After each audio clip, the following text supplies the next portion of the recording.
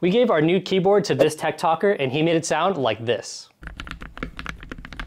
Corsair did something really cool here by adding their own proprietary brand switches. These are the Corsair Red mechanical linear switches. I actually opted to keep the original switches. All I did was actually add some extra lubricant onto the switches to deepen the sound a little further and just add a little more smoothness to the overall travel. Inside, I've also added some switch stickers on top of the PCB, making them sound much deeper. I've layered on some painter's tape which reflects the sound and filters out some frequencies to make the sound much more pronounced. I've also conducted a little experiment here by adding this rubber grip tape tape on the bottom of the case for even more sound absorption. I also really love that the switches use Cherry MX stems. I went ahead and got this keycap set from Drop to go for a super clean minimalist aesthetic.